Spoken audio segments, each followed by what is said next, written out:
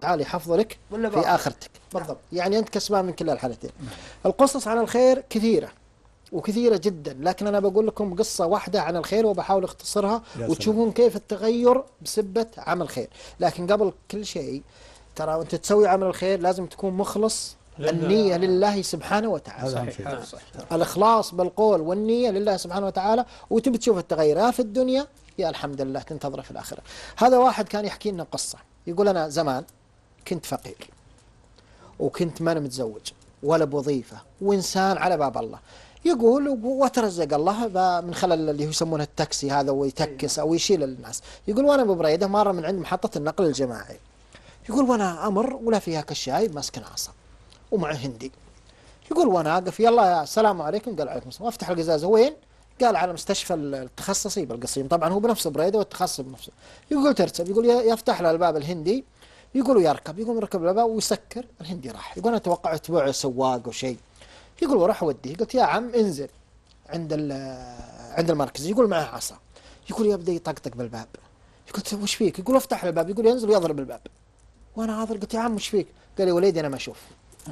قلت الله أكبر. خل خل خل رجال يقول أنا ما أدري وش جاني يقول ذيك اللحظة يقول أنا كنت شاب وكنت طايش وكان علي من الذنوب الله به عليم. يقول الله سبحانه وتعالى أنزل لي هالادمي رحمة. يقول رحمة ولا دعاء الوالدة. يقول تنتظر يقول ولبق ونزلة. يقول وادخله يقول قال يا ولدي خلاص ما يقصرون المستشفى. يقول ما يقصرون بس أنا أبي الأجر أبي الخير لي. يقول وأروح وأخذ له موعد وأدخله على الطبيب واطلع يا عم من وين؟ قال من الديرة الفلانية. قلت يا عم ابى اغديك قال لا والله يا وليدي. يقول المشكلة ما معي ولا ريال اغديه بس ودي أدور الطيب وأتجمل به. قال عساك حلقه يقول وأنا أمشي ما معي ولا ريال.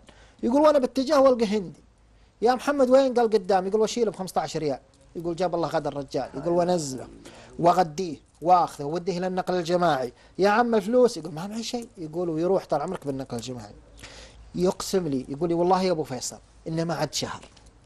إلا جايتني وظيفة متصلين علي. لا إله إلا الله. زين؟ دعالي الله سبحانه وتعالى رازقني بسيارة ميراث من أحد الأقارب. يقول يعلم الله أني كنت خطب ما خليت بيت ما جيته ولا حد زوجني. يقول فجأة هم نفس اللي كانوا رافضيني جو يزوجوني. يا جماعة الخير يعلم الله إني لو. لو يسمح لي أستضيفه بالقناة. إنه قلبت حياته انقلبت حياته معدل وهذا كله بسبب فعل الخير. قصة ثانية مشابهة اللي هو الإخلاص بالقول والنية. نعم، نعم. هذا واحد من الشباب يقول أنا كنت أعيل أسرة. يقول كنت أتصدق عليهم يعني فتح لهم حساب. يقول حياتي كانت جميلة جدا بسبب هالحساب. يقول الله سبحانه وتعالى فتح لي الأبواب. يقول استمرت معهم ثلاث سنوات. توفت الأسرة. يوم توفت الأسرة يقول رحت أبحث لي عن أسرة ثانية. لقيت لي أسرة ثانية لكن شفت غيرت النية.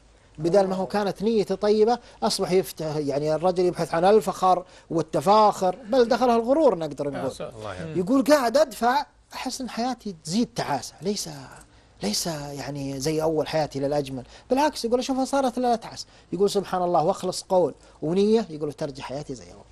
نرجع ونقول يا جماعة فعل الخير حتى لو كان بالقليل. الآن القناة أعطتنا شغل متكتك على قوليتهم. شغل رسمي. ما تقدر تقول أنا والله ودي أسوي وأسوي ما أدري. الله سبحانه وتعالى أرسل لك هالخير من خلال هالقناة. ليش تفرط بالفرصة؟